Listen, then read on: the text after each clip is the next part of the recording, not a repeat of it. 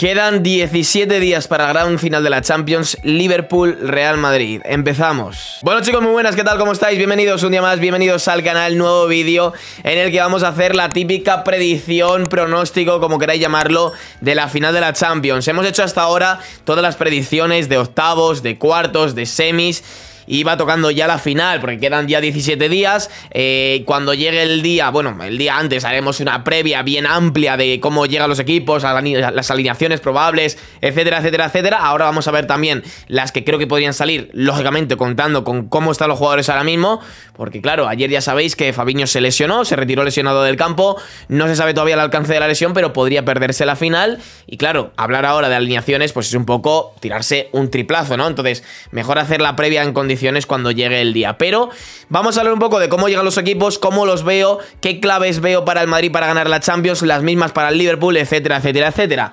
Eh, como bien he dicho antes, la predicción de Champions las hemos ido haciendo tanto en octavos como en cuartos como en semis. Y he de decir que en octavos solo fallé una, que fue la del Ajax Benfica, que di al Ajax que pasaba y pasó el Benfica. En cuartos solo fallé una, que fue el Villarreal, que pasó contra el Bayern.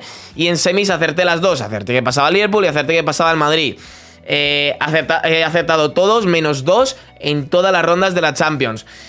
Vamos a hacer una predicción de la final y vamos a ver si la vuelvo a acertar porque me habré sacado lo que viene siendo el... Bueno, eh, no voy a hablar porque igual YouTube me censura el vídeo si digo estas cosas, pero bueno, ya me entendéis todos, ¿no?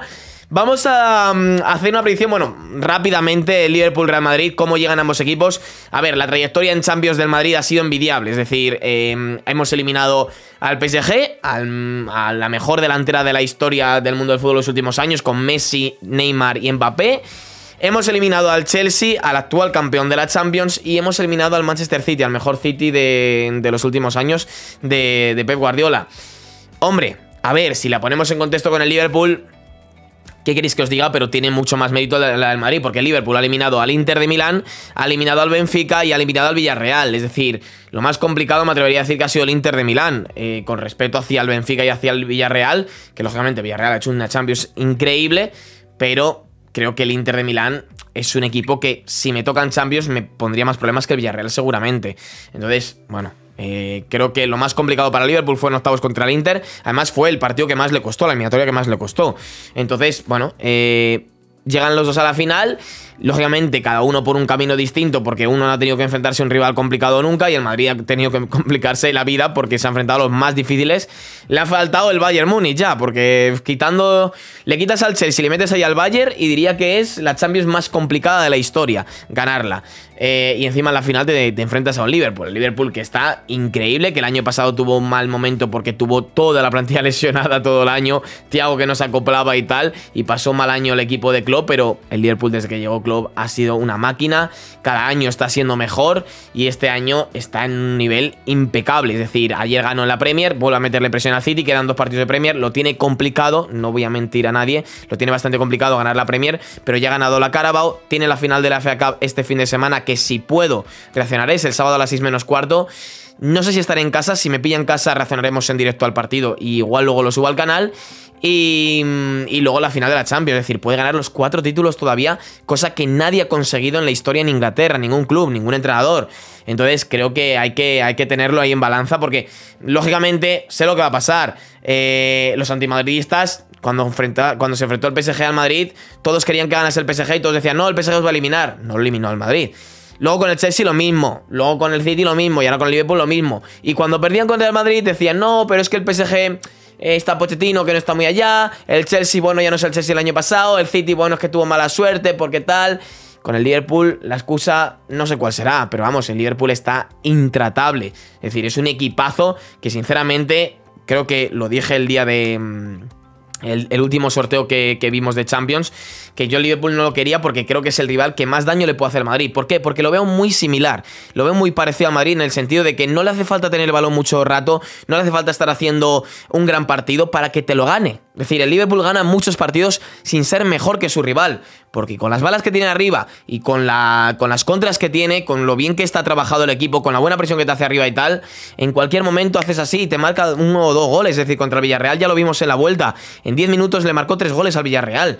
En una primera parte horrible, pero en la segunda salió un pelín más enchufado y en 10 minutos tres goles. Cosa que, si bien recordáis, el Madrid le hizo al PSG. Es decir, es un rival que nos va a poner las cosas muy complicadas porque es como nosotros. Es un equipo que no va a querer tener la bola, que si la tienes tú, le va a venir hasta mejor. Es un equipo que en cualquier acción tonta te va a poder marcar un gol y, por eso le tengo mucho miedo. ¿Y por qué? Porque tiene al mejor entrenador del mundo desde mi punto de vista. Es decir, no lo tengo ahí por cualquier cosa. Para mí es el mejor entrenador del mundo. Eh, hay mucha comparación con Guardiola. El otro día saqué un tweet eh, con lo que se gasta Guardiola frente a, por ejemplo, lo que se gasta Klopp. No tiene ni punto de comparación, ¿no? Eh, ganando cuando tienes un equipazo brutal, cuando te has gastado millones y millones y millones y millones, es mucho más fácil que cuando vas dejándote pues millones en alguna parte del campo. Sí que es cierto que el Liverpool ficha a Van muy caro, es cierto, y a Mané también muy, muy caro, pero saliendo de ahí... Allison quizá, que fue en 50 millones o algo así. El resto de fichajes no han sido caros. Luis Díaz este mercado, 45 millones le salió de Loporto, tampoco es que sea gran caro, que, sea un gran fichajazo. Por ejemplo, City en el banquillo tiene a Grealish que son 120 millones. Ha fichado a Haaland que a saber por cuánto asciende la operación, pero en torno a unos 200 250 millones. Hombre, ¿qué quieres que os diga? Pero para mí, mejor entrenador es Klopp que Guardiola. Pero estos son gustos personales. Esto ya es opinión, esto ya cada uno tiene la suya. Lógicamente los del Barça van a decir un Guardiola, es obvio. Pero los que no son del Barça, creo que en comparación, la mayoría diría que Klopp en vez de Guardiola. Pero bueno, en fin, que mm, lo dicho, centrándonos un poco más en la final, vuelvo a repetir, creo que, creo que el Liverpool va a llegar más desgastado. Esto también es una excusa que pueden poner la gente cuando si gana el Madrid la final de Champions, que ahora veremos a quién doy favorito. Si gana el Madrid la final de Champions, la gente dirá que es que el Liverpool llegaba cansado, con bajas, tal, porque de momento tiene la de Fabiño, veremos a ver si tiene más o no. Pero sí que es cierto que van a tener que competir hasta el último día. Ayer estuvimos reaccionando al partido de Liverpool a la vez que el del Barça y yo se lo decía a la gente, nos conviene que Liverpool gane a Aston Villa para que siga en la lucha por la Premier y tengan desgaste hasta el último día, hasta el domingo antes de enfrentarse al, al Madrid. Entonces que juegan contra el Wolves en la última jornada de Premier. La idea es que el Liverpool llegue hasta esa, jornada y ojalá gane la Premier, pero llegue con opciones de ganarla esa jornada para que se desgasten al máximo. Entonces, bueno, viendo eso, poniendo en comparación, el Madrid puede trabajar desde ya, desde ya ese partido de final de la Champions. Bueno, se está trabajando desde hace una semana en esa final de la Champions. Klopp no puede hacer lo mismo. Klopp tiene que trabajar la final de la FA acaba ahora, el próximo partido con el Southampton fuera de casa, en la última jornada contra el Wolves si llegan con opciones y ya una semana antes preparar el partido del Madrid. Entonces, en ese aspecto el Madrid llega mejor, más descansados, más trabajados hacia ese partido, más trabajados entre comillas, porque tácticamente ya sabéis que Ancelotti no trabaja mucho. Entonces, bueno, pero sí que es verdad que con la mente puesta en el Liverpool desde ya, cosa que el club no puede, que el club no, que el Liverpool no puede hacer con el Madrid hasta que no termine el partido con el Wolves. Y ahora ya por último, yendo rápidamente a las posibles alineaciones que vería a día de hoy, eh, bueno, Fabiño hay que quitarlo de aquí porque no se sabe si va a llegar a la final de la Champions o no. Si no juega Fabiño, será Henderson el que actúe ahí de pivote. Eh, con Allison en portería, Arnold por la derecha, Robertson por la izquierda, Van Dijk con AT de centrales, con Henderson, Thiago y Keita en el centro del campo, aunque cuidado no entre ahí Milner que tiene más experiencia. Mm, Jones no creo, porque Jones es un chaval más joven y Keita puede... Mm, ante la falta de Fabiño, Keita seguramente incluso puede el que sea así esto. No creo, será Anderson el que actúe de pivote para sacar el balón jugado y Keita el que esté por delante. Entonces, sinceramente veo esto más posible, pero no descartemos la entrada de Milner por Keita ahí en el centro del campo. Si falta Fabiño, repito, que hay que ver para cuánto tiene de lesión. En banda, Salah y Luis Díaz, creo que Luis Díaz está haciendo un final de temporada muy bueno. Mm, a ver, el chaval es muy bueno eh, acaba de llegar a Liverpool, pero es que se ha aclimatado muy rápido al, conjunto red. Entonces, creo que en esa fila de Champions creo que partirá de inicio. Y luego arriba, Mané con, total libertad. Se ha ido cargando un poco Luis Díaz a Firmino, la verdad. Sí que es cierto que salía de lesión Firmino y tal, pero de momento yo diría que Luis Díaz sería el titular para ese partido de Champions. Luego veremos a ver cómo llegan los jugadores, porque tienen todavía tres partidos complicados, el de la FA Cup y los dos de Premier. Hay que ver cómo llegan y hay que ver si hay lesiones o no, pero el de Liverpool me atrevería a decir a día de hoy, a, 11 de, mayo, que sería este el 11 titular. Y en el de Madrid lo tengo más claro que, que, clarinete. Es decir, si no hay lesiones, si Álava llega, que sigue recuperándose la lesión, el 11 de Madrid va a ser Curto en portería, Militao Álava, Carvajal Mendy, Casemiro, Cross Modric, Valverde, Vinicius, Benzema. Es decir, no tengo ningún tipo de duda. Mm, creo que la gente del Madrid tampoco tiene ninguna duda de que va a ser este el 11. ¿Camavinga está mejor que Cross? Sí, pero no va a jugar.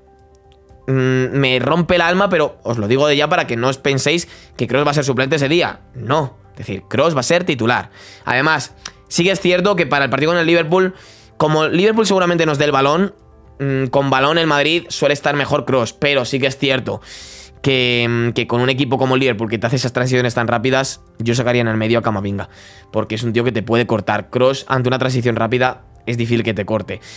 Pero bueno, va a jugar Cross. Es decir, esto no es lo que quiero, esto es lo que creo. Ya iremos a lo que quiero cuando hagamos la previa ya bien amplia, el día antes de la final de la Champions, etcétera, etcétera, etcétera. Pero esto a día de hoy es lo que veo. Peligros del Liverpool, lo que acabo de decir, transiciones muy rápidas. Te roban y en dos, en dos pases están en tu área metidos. Eh, claves sobre todo, Mendy que tape a Salah, es decir, creo que tenemos un lateral muy bueno para tapar a Salah, de los mejores, bueno, el mejor defensivamente, el mejor lateral izquierdo defensivamente hablando del mundo, para mí es Mendy, no tengo ningún tipo de dudas, no tengo, bueno, tengo pruebas y, no tengo dudas de que es el mejor lateral izquierdo defensivamente hablando. Que sigue luego que con el balón en los pies y tal, puede ser muy torpe y todo lo que queráis. Pero para tapar a Salah, si me das algún lateral izquierdo de todo el mundo, te elijo a Mendy antes que a cualquier otro. Eso no tengo dudas. Para tapar a Luis Díaz, veremos a ver Carvajal. Está acabando muy bien la temporada, ¿eh? Está acabando muy bien la temporada Carvajal y yo confío en que llegue a la final de Champions en su mejor nivel y sea capaz de tapar a Luis Díaz porque también es otro peligro. Y luego Mané, sí que es cierto que delantero para mí pierde mucho cuando ha jugado ahí delantero. Tiene mucho gol, eso es cierto, eh, tiene mucho gol, pero pierde bastantes cualidades que tiene Mané entrando desde banda. Pero confío en que Militao se recupere aquí a final de temporada, no de lesión, sino de nivel, porque hemos visto a Militao un tanto pobre de nivel estos, estos últimos partidos. Espero que llegue a 100% al final de Champions y Álava lo mismo. Si no juega Álava, Nacho al centro y ya está. Es decir, Nacho lo hace bien cuando juega. Entonces hay que estar muy pendiente de Mané porque entra entre líneas y ante los centros de Salado de Luis Díaz tiene mucho peligro, la verdad. Y es el mayor peligro que le veo al Liverpool. En el centro del campo no me preocupa Henderson, no me preocupa Keita. Tiago cuando tiene el día bueno sí, pero creo que Casemiro, Modric, Cross en el centro del campo es mejor que el del Liverpool, es mucho mejor que el del Liverpool. Entonces no me preocupa el centro del campo del Liverpool, pero sí me preocupa muchísimo la delantera, los tres de arriba, con los cuales Casemiro tiene que estar metido aquí entre, entre Álava y Militao para evitar, pues eso, las entradas de, de Mané. Y es que luego ni Tiago ni Keita suelen entrar. Keita alguna vez, pero tampoco tiene mucho peligro Keita cuando entra entre líneas. Entonces, el Liverpool lo bueno que tiene es que desde el centro del campo no puede llegar a sorprender con ningún tío. Jones a veces sí, Jones cuando ha jugado sí, pero no creo que Jones sea de inicio en la final de la Champions, la verdad. Entonces, ya digo, máximo peligro del, del, del, Liverpool, las bandas, los tres de arriba y también los centros de Arnold y de Robertson. Por eso yo creo que Valverde saldrá para tapar un poco a Robertson esas subidas. Y me da un poco de miedo a Arnold porque Vinicius no creo que le siga mucho. Y este es el problema también. Cross aquí. Cross no va a tapar tampoco mucho a Arnold. Entonces aquí si estuviera Camavinga sí que puede actuar eh, cayendo a banda para ayudar un poco a Mendy con Salah y con Arnold. Cross no. Cuidado ahí, cuidado a eso, porque si juega Cross vamos a sufrir mucho por esa banda de, de y Arnold. Así que, bueno, eh, por aquí un poco el análisis rápido de la final de Champions. Vamos ahora con la predicción a quién doy favorito para la final de la Champions. A ver, si los dos equipos llegan en las mismas condiciones de partidos jugados y tal, que no llegara con tanto descanso el Madrid y demás... A ver, en una, bueno, antes de nada, en una final de Champions para mí no hay favoritos. En una final de Champions siempre llegan los dos equipos al mismo nivel, es decir, eh, siempre queda la misma opciones a los dos equipos porque en una final es que no hay favoritos, es que lo tengo clarísimo. Una final no, no hay un equipo que llegue mejor, no hay un equipo que llegue peor, no. Pero sí que es cierto que si te paras a ver lo que he dicho al principio del vídeo, cómo llega un equipo y cómo llega otro, porque van a llegar muertos eh, físicamente los de Liverpool y los de Madrid más descansados, pero también hay otro hándicap ahí, porque el Liverpool va a llegar con ritmo de competición y el Madrid no, porque no es lo mismo jugar la final contra el Chelsea, la final de la FA Cup jugando de todo, o contra el Wolves, que jugar, pues, oye, en liga contra el Getafe, que es el patio que nos queda, y contra el Betis creo que nos queda también, que bueno, el del Betis pues sí que puede ser un partido de nivel, ¿no? Pero no te juegas nada, no es al fin y al cabo lo mismo. Entonces, si tengo que dar alguno favorito por encima de otro, por muy poquito, por cómo ha ido esta Champions, por lo que nos han demostrado y tal, y por la experiencia que tiene el Madrid en las finales de Champions, las finales de Madrid las suele ganar casi todas, es decir, ha perdido muy poquitas a lo largo de su historia. Voy a dar favorito a Madrid. No puedo hacer otra cosa. No es por colores, sinceramente. No tiro porque sea el Madrid. Tiro por, por lo que nos ha demostrado el Madrid en esta Champions, que puede con todo y con todos. Eh, porque llegan más descansados y porque tienen mucha más experiencia que el Liverpool en finales de Champions y porque ya le ganamos una Champions. Entonces, que sí, que fue por Carius y por todo lo que queráis, pero se la ganamos. Entonces voy a dar por muy poquito favorito. 51% mm, para el Madrid, 49% para Liverpool, porque ya digo que no hay favoritos en una final de Champions, pero si me tengo que mojar, me mojo por la parte del Real Madrid. Así que ojalá levantar la decimocuarta, ojalá ganar ahí en París otra Champions más.